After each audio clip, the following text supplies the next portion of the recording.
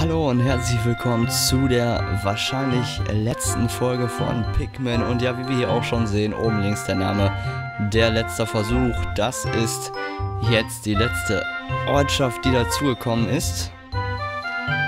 Und ja, ich bin mal gespannt, wie sich das hier alles ergibt. Da gibt es, wie ihr seht oder wie man sich ja erschließen kann vielleicht, nur einen Teil. Ja, 29 von 30 Teilen. Wer hätte gedacht, dass wir das so schnell schaffen?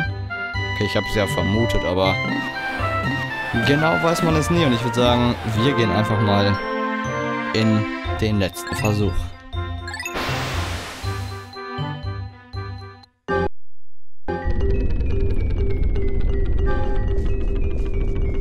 Musik fängt schon leicht verstörend an. Und wird dann doch ganz nett. So, ich bin aber leicht, leicht psychomäßig noch im Hintergrund. So, ich bin mir nicht ganz sicher. Ich glaube, ich nehme einfach mal wieder ein Drittel von jeder Sorte. Weil ich weiß ehrlich gesagt nicht, wie genau das hier nochmal war. Vielleicht war es ja auch doch noch nicht die letzte Folge. Ich weiß es nicht. Ach, guck mal, da kann man schön umwandeln. Ist ja auch was Feines. So. Ach ja, die Musik. So, ich würde sagen, wir beeilen uns dann mal direkt. Alter Finne. Sieht schon mal nicht ganz einfach aus. Schauen wir mal ganz kurz die Karte an. Okay. Eine schöne große Kampfarena. So, ich hole mal die blauen erstmal. Die machen dann das hier. Ich glaube, dass das so richtig ist.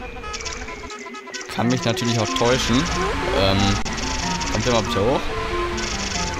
Danke. So.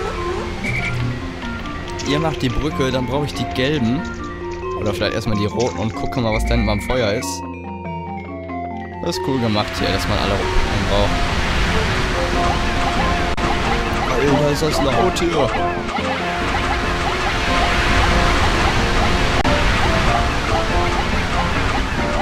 Alter, voll, voll das Inferno. So.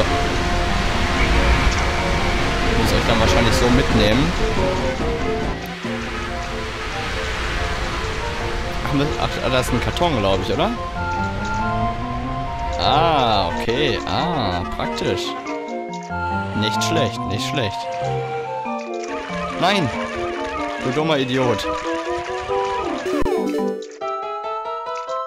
Frage ist jetzt, inwiefern uns das weitergeholfen hat. Ja, einer ist jetzt natürlich äh, leider ertrunken. Kann ich da selber durchlaufen oder werde ich dann eines qualvollen Todes sterben? Ah ne, geht, geht so, okay. Hat sich geklärt. Die Frage ist, was hat uns das jetzt gebracht und wie komme ich an Bomben? Warte mal, ich gehe mal hier hoch. Ah, okay, Bomben. Perfekt. Alles klar. Dann weiß ich jetzt, wozu ich die gelben brauche. Es könnte doch ein bisschen länger dauern.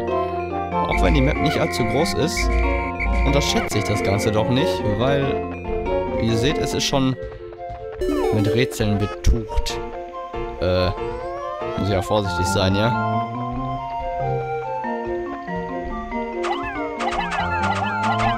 Alter Finne. Oh, shit, shit, shit, shit, shit, shit, shit, shit. Beeilen, beeilen, beeilen. Ihr dürft nicht ertrinken, Leute. Nicht ertrinken, nicht ertrinken. Wir brauchen nicht mal so viele. Was mache ich hier eigentlich? Hat es noch einer geschafft? Ach, ein paar sogar. Cool. Weißt du was? Nehme erstmal hier ein paar. Sonst ist mir das ein zu großes Gewusel. Hoch, so.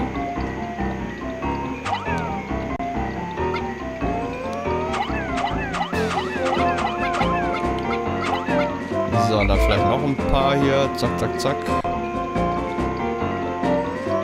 Zack, zack, zack. Alle rüber.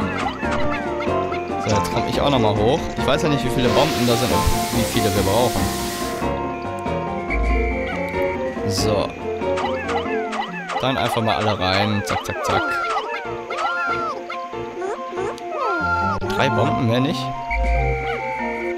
Seid ihr euch sicher, dass wir nicht mehr brauchen? Äh, ach ne, aha, aha, guck mal an.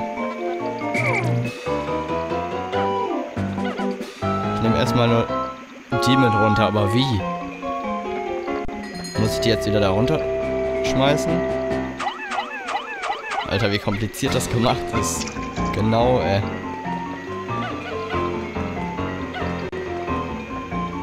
Muss ich die darüber kriegen, ohne dass sie krepieren. Alter, über diesen Fluss. Das finde ich überhaupt nicht geil.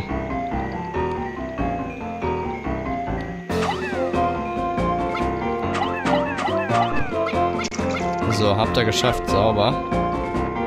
So, ich hoffe, das reicht. Wenn nicht, dann bin ich traurig.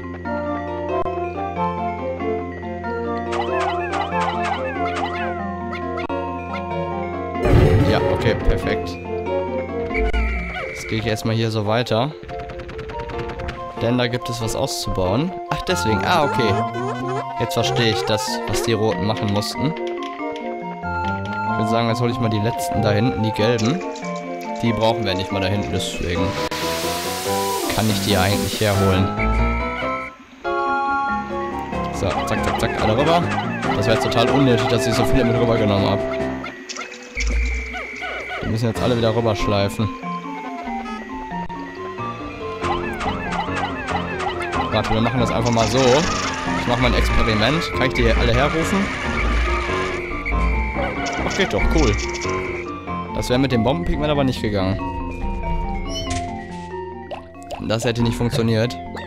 Weil die, glaube ich, ihre Bomben fallen gelassen hätten. Und das wäre nicht so gut gewesen. So, steh mal auf da. Alter, warum fallen die alle hin? Seid ihr nervös?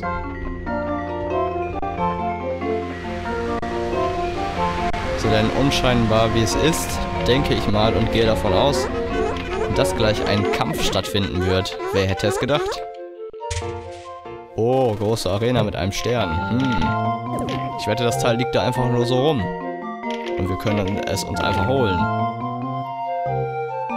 Ist ja unüblich, dass am Ende eines Spiels ein Endboss auf uns wartet. Natürlich.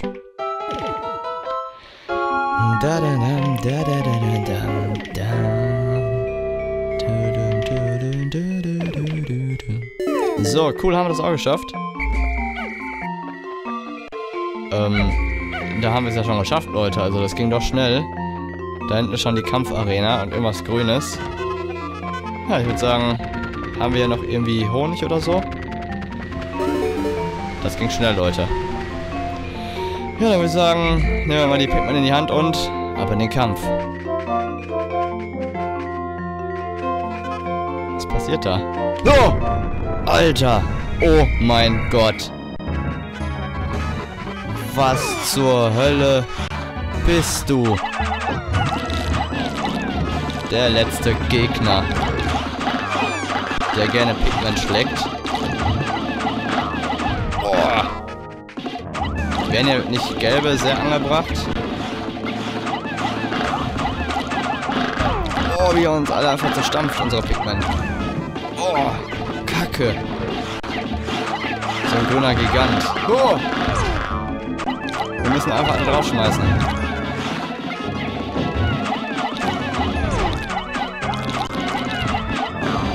Das ist mal ein Endkampf. Also der ist natürlich mit gar nichts zu vergleichen. Kacke, wie alter, wir haben schon die Hälfte verloren. Was? Noch ein bisschen vorsichtiger sein.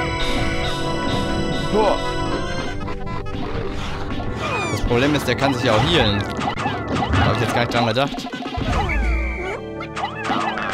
Oh, shit. Alter, wie, wie kann sowas entstehen?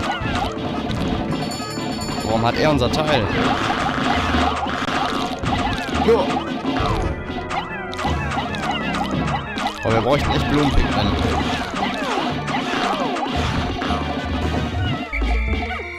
Alter, jetzt hat die auch alle platt gemacht fast 100 Pigments einfach so eben zerstört.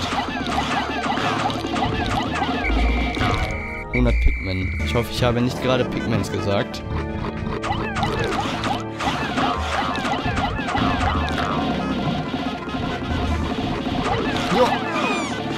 Okay, die Hälfte haben wir.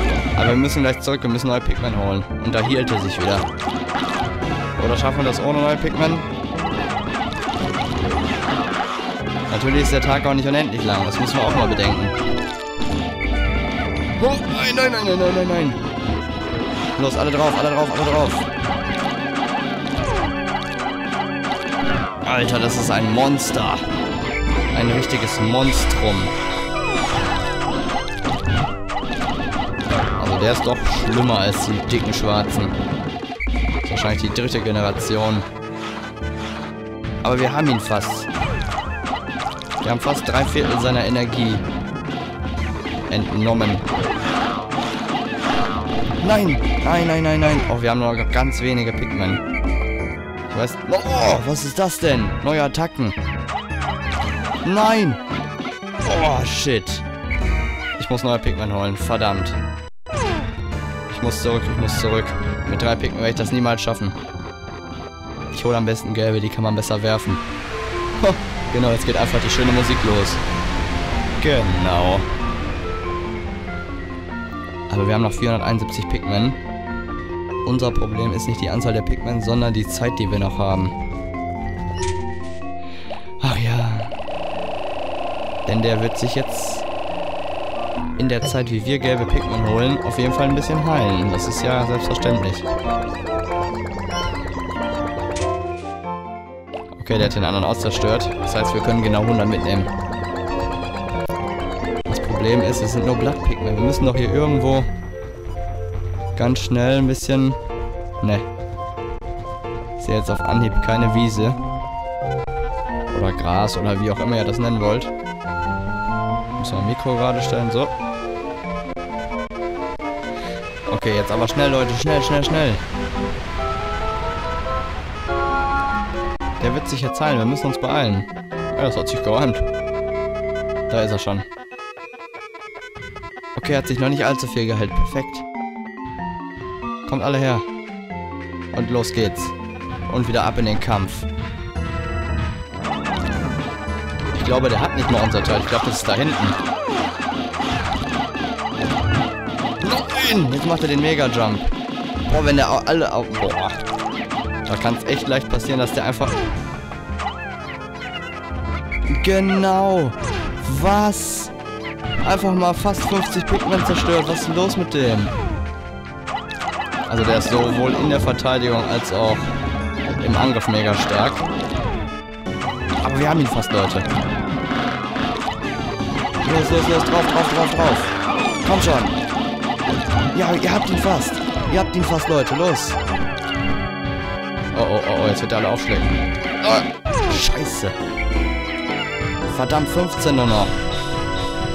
Wie schnell macht er die fertig?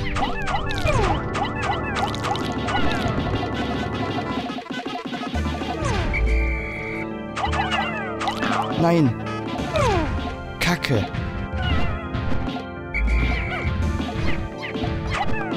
Ja, es wird so nichts. Ich muss neue Pikmin holen. Der Tag ist fast vorbei. Ich muss mich beeilen. Alter. 75% des Tages sind rum. Aber das dürfte jetzt die letzte Pigment-Chose sein, die ich hole. Diesmal hole ich rot in Hoffnung, dass ich noch Blumen-Pigment habe. Denn durch diesen Blaserbike-Typen sind ja alle Blumen-Pigment zu Blatt-Pigment geworden. Mist. Kacke. Nur noch ein paar Knospen. Komm schnell, beeilt euch. Wir müssen auch das Teil noch herschaffen. Wenn wir das überhaupt noch kriegen sollten. Kommt schnell, schnell, schnell.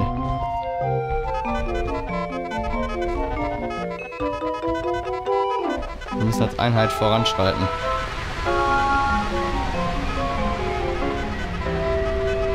Boah, es könnte auch wieder richtig knapp werden. Das müssen wir direkt drauf.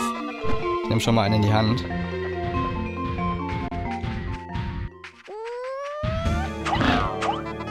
Er hat auch nicht, er hat sich auch nicht sehr geheilt. Oh, shit. So, jetzt alle drauf, alle drauf, alle drauf. Jetzt, jetzt habe ich die Chance.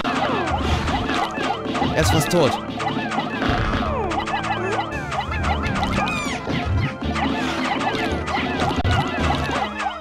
Ja, ja, er ist tot.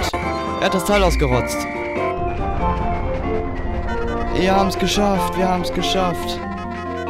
Ach, hier sind nur Bomben. Endlich, endlich. Ich habe das letzte Teil gefunden. Den Geheimsafe. Und sein Inhalt ist unberührt. Ich bin froh, dass ich meine Suche und Hoffnung nie aufgegeben habe. Nun kann ich diesen Planeten ohne Reue verlassen. Vielleicht mache ich noch irgendwo einen Zwischenstopp und kaufe ein paar Souvenirs für, die meine, die für meine Familie auf Hokotate. Dein Ernst? Nur für Geld haben wir das gemacht. Nur für Geld. Eigentlich brauchen wir keine Pikmin mehr, aber... Genau, das schaffst du alleine doch gar nicht, mein Freund. Nein! Oh, schönes Geräusch. Das Geräusch spiegelt meine Wünsche wieder. So, ihr müsst ja jetzt alle dran, Leute.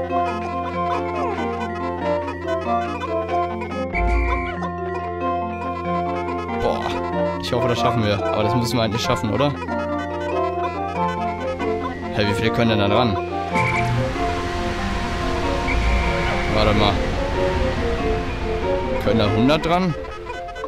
Muss ja ein schweres Sparschwein sein. Alter, was?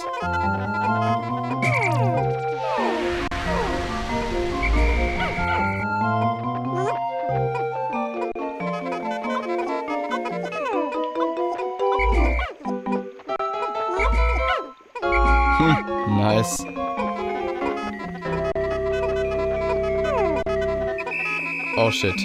Jetzt beeilt euch. Aber das, das müssen wir schaffen. Boah, stellt euch vor, das schaffen wir jetzt nicht und jetzt bleibt genau davor liegen und wir müssen extra dafür noch eine Folge machen. Na, würde ich, ne, das würde ich nicht machen. Ich würde, glaube ich, einfach nochmal runter auf den Planeten fliegen. Das wäre trotzdem kacke. Gehen da nur 88 dran?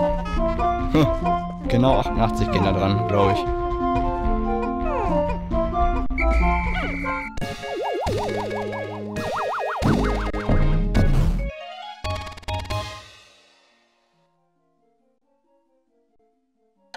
Endlich habe ich jedes Teil vom Schiff gefunden. Nun kann ich nach Hokotate, meiner Heimat, zurückkehren.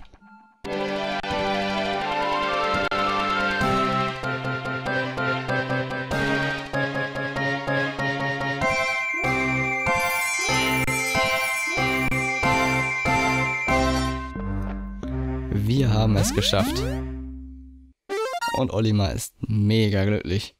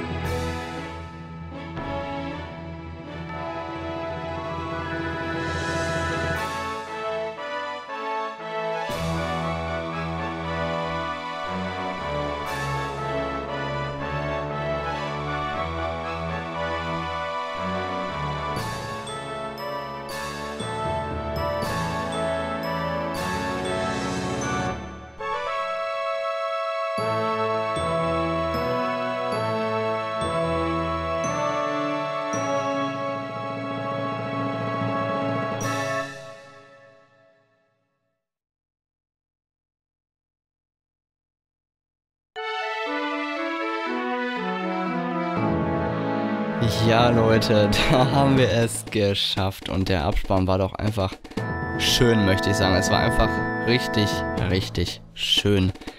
Und ja, wie wir am Ende nochmal gesehen haben, haben die Pikmin alle schön Händchen gehalten und haben uns äh, nochmal eine kleine, einen kleinen Abschied beschert. Und ja, ich, es, es ist irgendwie traurig, dass wir sie verlassen haben, weil, ja, wir haben jetzt zwei Wochen mit denen verbracht und sie sind uns doch schon ans Herz gewachsen und am Ende haben wir gesehen, dass wir ihnen auch so einiges beigebracht haben, als sie den dicken Marienkäfer einfach freihand verprügelt haben, möchte ich sagen. Ja. Und auch konnten wir sehen, dass es scheinbar auch noch andere Arten von Pikmin gibt, da auch schwarze und pinke und so weiter farbige Zwiebeln dort vorhanden waren. Aber ich denke mal, in den Bereichen dieses Planeten sind wir nicht vorgedrungen. Aber ja Leute, wir haben es geschafft. 30 Teile in 15 Tagen. Das ist ein Schnitt von zwei Teilen pro Tag. 368 Pikmin haben noch überlebt. Ja gut, ne? 570 verloren, kann mal passieren. Insgesamt 1069 Pikmin gekeimt. Man könnte ja versuchen, eine Million zu knacken. Wäre ein Versuch wert, kann man aber auch sein lassen. Aber der Counter gibt einem die Möglichkeit, auf jeden Fall. Ich glaube nicht, dass man das in 30 Tagen schaffen kann. Könnte man ja ein Projekt draus machen. Nein, ich glaube eher nicht. ja, und hier sehen wir halt noch unser Result von, ja, ich habe es eigentlich schon vorgelesen. Nur bei vollständig reparierten Schiff. Ich glaube, wenn wir das nicht komplett repariert hätten, dann hätte das auch geklappt. So, ich drücke einfach mal hier A und guck mal, was passiert. Ach ja, unsere ganzen Teile. Warum sind denn da manche blau? Ich glaube, das sind die ganz schweren. Nova Blaster, Levita-Reifen, Massageeinheit, UV-Lampe, Geheimsafe. Ich glaube, das waren die schweren Teile. Ja, und halt nach äh, Nummern sortiert. Hauptantrieb als erstes und Geheimsafe als letztes. Schön. Speichervorgang. Ja, ich möchte gerne speichern, Leute.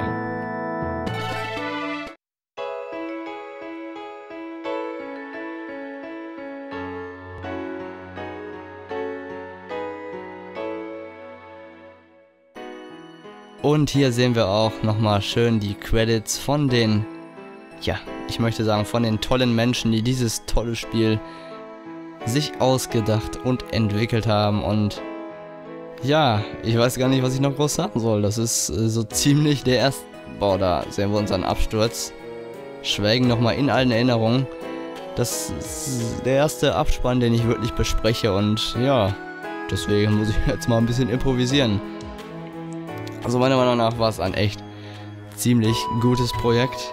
Also mir hat es auf jeden Fall echt Spaß gemacht, auch wenn ich gemerkt habe, dass nicht so viele Leute daran interessiert sind. Also da waren jetzt nicht so viele Klicks. Selbst auf Outlast waren echt wenig Klicks. Aber das ist wie, wie gesagt, das interessiert mich halt eigentlich nicht so. Also ich freue mich halt, wenn mehr Leute dazu schauen und auch Spaß daran haben, weil das ist ja der Sinn der Sache hier. Ich mache das ja für euch und für mich, weil es mir Spaß macht. Aber das macht mir Spaß, dass ich es für euch mache. Das ist halt, ja, der ganze Hintergrund der Sache.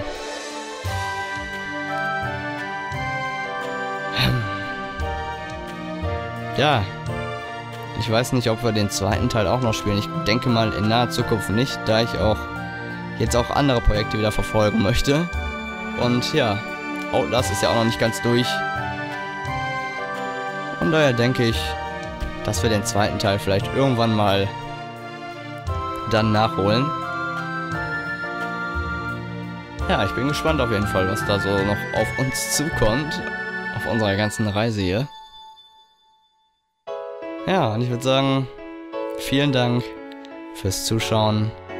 Und wir sehen uns hoffentlich beim nächsten Mal. Ciao, Leute.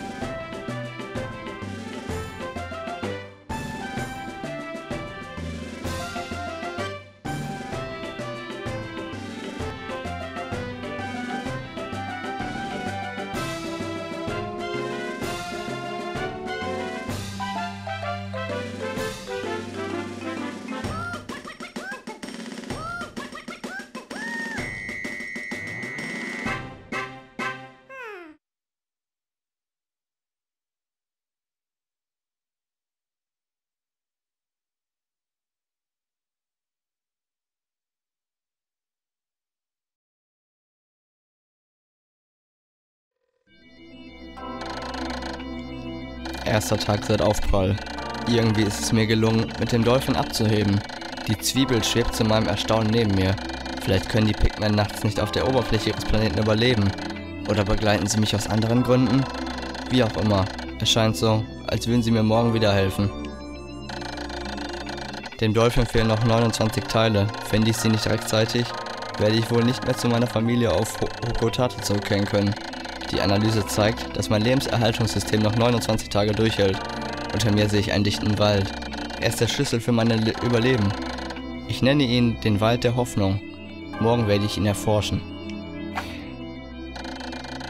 Zwei Tage seit Aufprall. Offenbar sind viele Teile meines Schiffes in dieser Re Region abgestürzt. Wenn ich nur mein Radarteil finden könnte, würde, dann könnte ich meinen Radarschirm benutzen. Meine Chancen würden sich enorm verbessern. Durch Drücken von Y könnte ich die anderen Teile ausmachen. Hier gibt es offensichtlich viele feindselige Lebe Lebensformen. Sollte ich attackiert und mein Raumanzug beschädigt werden, muss ich zum Raumschiff zurückkehren, mich davor stellen und A drücken, um ihn zu reparieren. Wichtig ist es, die Raumanzuganzeige links unten im Bild im Auge zu behalten. Drei Tage seit Aufprall. Heute konnte ich die gelben Pigmen meiner Liste der Entdeckungen hinzufügen. Diese Geschöpfe tragen Steinbomben. Vielleicht kann ich mit ihrer Hilfe Mauern einreißen und neue Durchgänge freilegen. Rote und gelbe Pigmen, genau wie die Steinbombenträger, teilen sich in Gruppen auf, wenn ich X drücke oder ein Pigment durch längeres Drücken von A festhalte. Vier Tage seit Aufprall. Tief im Inneren der Höhle, die ich in dem Wald entdeckt habe, habe, fand ich blaue Pigmen. Die blauen Gesellen haben kiemenähnliche Organe an ihren Wangen. Überhaupt scheinen sie amphibisch zu sein und können an Land und Wasser leben. Die Wunder der Natur werden mich immer wieder erstaunen, auch an diesem Ort. Fünf Tage seit Aufprall. Die Pigmen, die ich nicht zur Zwiebel brachte, sind über Nacht verschwunden. Sie sind wohl den hiesigen nachtaktiven Kreaturen zum Opfer gefallen. Vielleicht folgen die Pigmen mir deshalb in die Atmosphäre. Langsam beginne ich die Regeln dieses Planeten zu begreifen. Sechs Tage seit Aufprall. Ich habe beobachtet, dass sich das Blatt auf den Kopf der Pigmen erst zu einer Knospe entwickelt und dann zu einer Blüte. Wenn ich die Triebe der Pigmen nicht pflücke, blüht jedes Pigment nach einiger Zeit auf. Faszinierend! Diese Verschmelzung einer tierischen und einer pflanzlichen Lebensform ist sicherlich einzigartig in der Natur.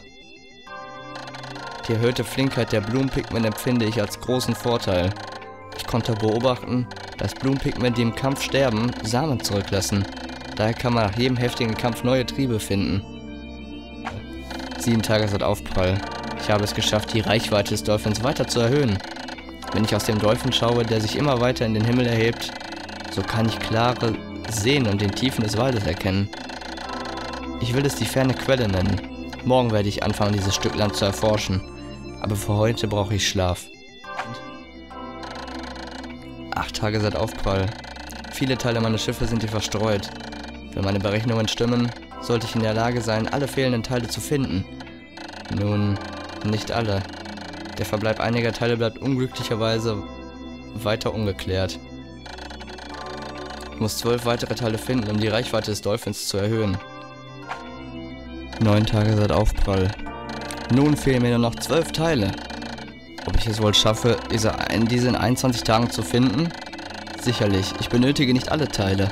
Sollte mein Schiff am Tag 30 nicht vollständig repariert sein, so bleibt mir nur trotzdem ein Start zu versuchen. Ich erinnere mich genau an den Tag, an dem ich meinen Sohn zum ersten Mal in diesem Schiff mitgenommen habe. Ich werde ihm von meinen Ergebnissen, Erlebnissen dieser Reise erzählen. Und ich werde heimfliegen. Ich muss. Ich stelle mir schon den interessanten Ausdruck in seinem Gesicht vor, wenn ich ihm über alle diese Pikmin berichte. Zehn Tage seit Aufprall. Die Hoffnung steigt, den Dolphin reparieren und zu meiner Familie zurückkehren zu können.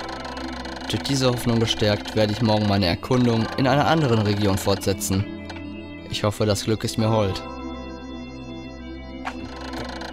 Elf Tage seit Aufprall. Oh grausames Schicksal, eine Steinbombe ist explodiert und hat meine Pikmin unter Stein begraben. Dieses Bild hat sich in mein Gedächtnis eingebrannt. Ich muss die Umgangsweise mit Pigmen, die Steinbomben tragen, unbedingt überdenken. So etwas darf nicht noch einmal passieren.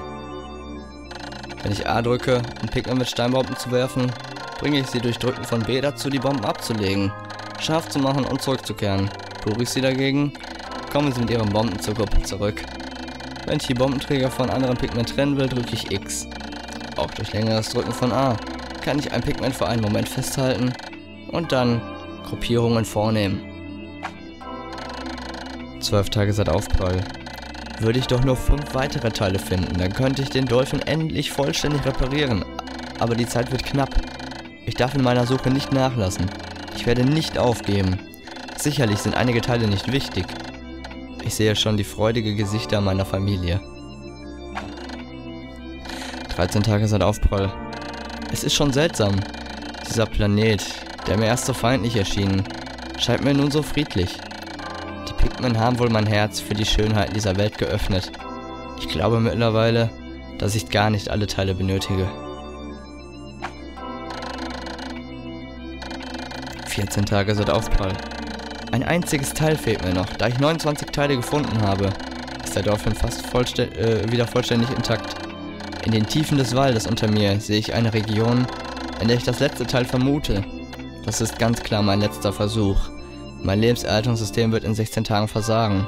Aber nur Mut.